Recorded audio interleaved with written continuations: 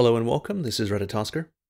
Today I want to talk about Dragon Lord Placidusax, the age before the Erdtree, and the Greater Will's relationship to the dragons and the Golden Order.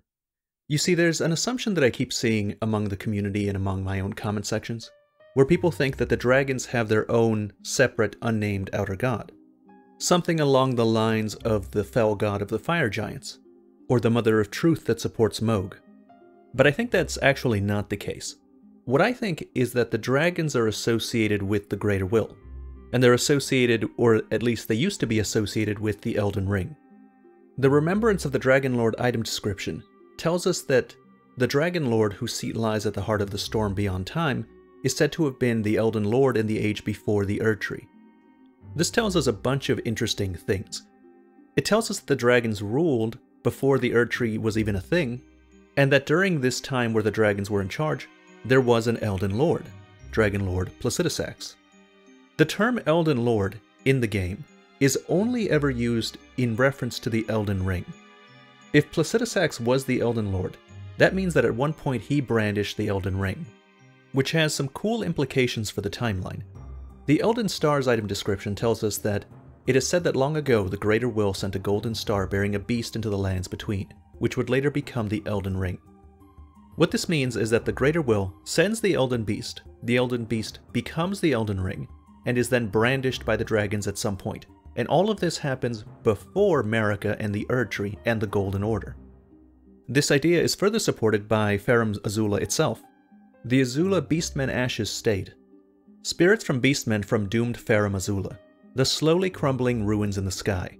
These ruins are said to be the remains of a giant mausoleum enshrining an ancient dragon guarded by chosen beastmen who wield weapons clad in lightning. So clearly, Farum Azula is linked to the dragons specifically. And around Farum Azula you can find images of what looks like an Elden Ring, but it's different from the one we know. It is much larger, with many more great runes, and with roots going in all directions. This depiction of the Elden Ring is likely what the Elden Ring looked like during the time of the dragons, during the time in which Placidusax brandished the ring. Another thing that supports this interpretation is the roots that can be seen on this Elden Ring. We know that the Erdtree didn't exist at this time, this was the age before the Erdtree. But we also know that before the Erdtree there was the Great Tree. The Crucible Tree helm is described as being Great Tree ornamentation. It then goes on to describe the Crucible of Life as the primordial form of the Erdtree. I'm assuming that the Great Tree is the primordial form of the Erdtree. And in that case, take a look at this. This is the symbol for Erdtree incantations. And this is the symbol for aspects of the Crucible incantations. This symbol is very similar to the Erdtree incantation symbol, but less refined and with many more roots at the bottom. I believe this symbol is depicting the Great Tree, rather than the Erdtree. And if it is, it would make sense why the Elden Ring has a bunch of roots coming out at the bottom during the time before the Erdtree, because this is likely a time in which the Great Tree is still there. It still hasn't evolved into the Erdtree. Now, all of this has implications for what the Greater Will wants, for what the relationship the Greater Will has with the current Elden Lord and the current Order. The Elden Beast Remembrance says that it's a vassal of the Greater Will and a living incarnation of the concept of order. I think that order itself is what the greater will cares about. And it doesn't care about what form that order takes. The Golden Order is merely the current incarnation of order, just as the dragons were before them. The fingers who serve the greater will seem to be perfectly willing to allow new Elden Lords, and in fact, even new gods that are vassals to the Elden Ring, to come onto the scene. The demigods Ranni, Miquella, and Malenia are chosen by the fingers as Empyreans capable of replacing Marika herself. And it's not the first time they had done something like that. The Gloam-Eyed Queen who commanded the Godskin Apostles was also an Empyrean chosen by the Fingers. And had the Gloam-Eyed Queen been successful against Marika and Maliketh, I doubt the Fingers or the Greater Will would have cared.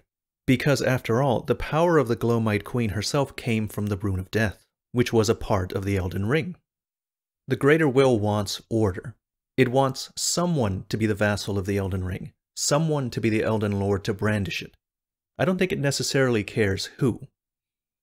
Just as a last bit of evidence, there's also the actions of Radagon of the Golden Order.